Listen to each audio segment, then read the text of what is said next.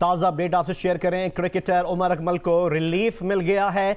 उमर अकमल की सज़ा तीन साल से कम करके डेढ़ साल कर दी गई है। तीन साल की सज़ा हुई थी उमर अकमल को, जिसके खिलाफ उन्होंने अपील की और उनकी सज़ा आधी कर दी गई है। इसकी तफसीत जानते हैं नुमाइंदा जियो न्यूज़ सुहेल इमरान से। सुहेल, आपके पास क्या अपडेट्स हैं?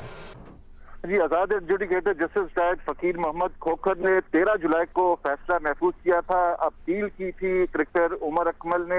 डिसिप्लिनरी पैनल के फैसले के खिलाफ जिसमें उनको तीन बस की पाबंदी की सजा सुनाई गई थी, आज आज़ाद adjudicator justice retired Fakir Mohammad Khokhar ने अपील की जो महफूज फैसला किया था, वो सुनाते हुए रिलीफ दिया है क्रिकेटर उमर अकमल को और उमर अकमल की जो तीन बस की पाबंदी थी, तीन साल की जो पाबंदी थी, उसको आधा कर दिया गया है। इस तरह डेढ़ साल की पाबंदी की सजा जो है वो उस पर अमल करना होगा क्रिकेटर उमर अकमल को और ये पाबंदी की सजा जिस रोज उनको सस्पेंड किया गया था 20 फरवरी दो, दो हज़ार बीस में वहाँ से शुरू होगी और अब वो अगस्त 2021 में एलिजिबल हो सकेंगे क्रिकेट खेलने के लिए। उमर अकमल पर पाकिस्तान क्रिकेट बोर्ड ने जो 20 फरवरी को मुअत्तल किया था उनके ऊपर चार्जेस लगाए गए थे, जिसके बायस उनको उन्होंने बर वक्त आगाह नहीं किया था। पाकिस्तान क्रिकेट बोर्ड के एंटी करप्शन यूनिट को जब बुकिस की जानब से उनको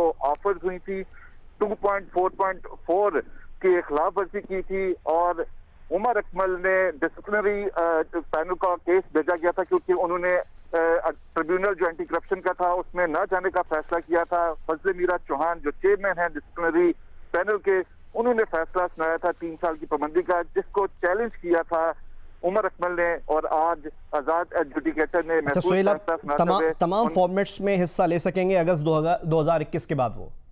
जी जी बिल्कुल। जब उनकी सजा मुकम्मल हो जाएगी और डेढ़ साल की सजा खत्म हो जाएगी और उसके बाद एलिजिबल होंगे हर तरह की अच्छा सुहेल यही यही उनके वकील तैयब रिजवी का भी कहना था कि उनके क्लाइंट के साथ ज्यादती हुई है तो अब उमर अकमल से कोई बात हो सकी या उन्होंने थोड़ी देर में क्या प्रेस कॉन्फ्रेंस करनी है या वो मुतमिन है इस फैसले से? जी अभी नेशनल हाई परफॉर्मेंस सेंटर में समात हुई है तकरीबन आधा घंटा ही ये समात जारी रही है और उसमें दोनों फ्रिकैन भी मौजूद थे ताकि उनके सामने फैसला सुनाया जा सके।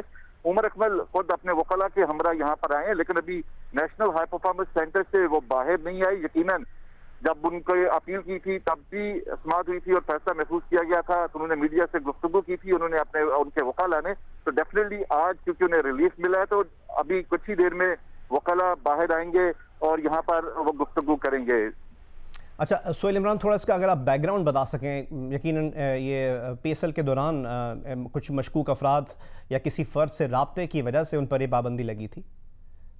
जी डेफिनेटली बिल्कुल ये उसी रोज था जिस दिन ओपनिंग सेरेमनी थी पी एस एल फाइव की, और उसके सुबह भी ये अचानक पाकिस्तान क्रिकेट बोर्ड ने उनको उनके बारे में बताया गया कि उनको मुअत्तल किया गया है 4.7.1 जो कोड है, उसके तहत उनको मुअत्तल किया गया था। फिर उसके बाद सत्रह को उनको, सत्रह मार्च को उनको चार्जशीट जारी की गई थी, जिसमें उनके ऊपर इल्ज़ाम लगाया गया था कि वो उन्होंने 2.4.4 की दो मुख्तलिफ़ अवकात में दो मतबा खिलाफ वर्जी की है और उमर अकमल ने अडॉप्ट किया था इस फैसले को कि वो एंटी करप्शन ट्रिब्यूनल के सामने नहीं जाएँगे, उसकी दरख्वास्त नहीं की थी। इसीलिए पाकिस्तान क्रिकेट बोर्ड ने उनका जो केस था, वो डिसिप्लिनरी पैनल को भेजा था, जिसके चेयरमैन फजल मीरा चौहान, जस्टिस साहब फजल मीरा चौहान है। एक ही कार्रवाई हुई और उसके बाद उनको सजा सुनाई गई थी, तीन बस की पाबंदी की और उसके बाद फैसला कबूल नहीं किया था क्रिकेटर उमर अकमल ने अपील की थी और आज़ाद adjudicator justice retired Fakir Mohammad Khokhar ने आज महफूज फैसला जो किया था तेरह जुलाई को, आज वो सुनाते हुए उनको रिलीफ दिया और सजा को तीन साल से कम करके डेढ़ साल कर दिया गया है। अभी वकला आ चुके हैं आ, सामने मीडिया के और वो गुफ्तु करेंगे इस हवाले से। जी। अच्छा सोहेल जिस पीसीबी के एंटी करप्शन कोर्ट की जिस शिक थी उसकी खिलाफ वर्जी पर इनको सजा सुनाई गई थी आ, उसमें कम से कम सजा कितनी हो सकती है अंदाज़ा?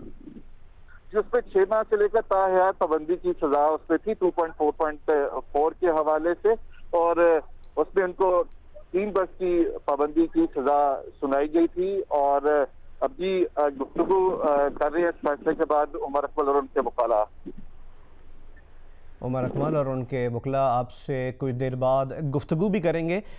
उमर अकमल से मुतल ये ताज़ा अपडेट हम आपसे शेयर कर रहे हैं कि उमर क्रिकेटर उमर अकमल को रिलीफ मिल गया। उनको तीन साल की जो सज़ा हुई थी, अब जैसा कि उन्होंने सज़ा के ख़िलाफ़ अपील की थी और उनके वकील का ये मौक़ था कि उनके क्लाइंट के साथ ज़्यादती हुई है और इस केस का फ़ैसला महफूज कर लिया गया था, जिसके लिए आज की तारीख मुकर की गई थी।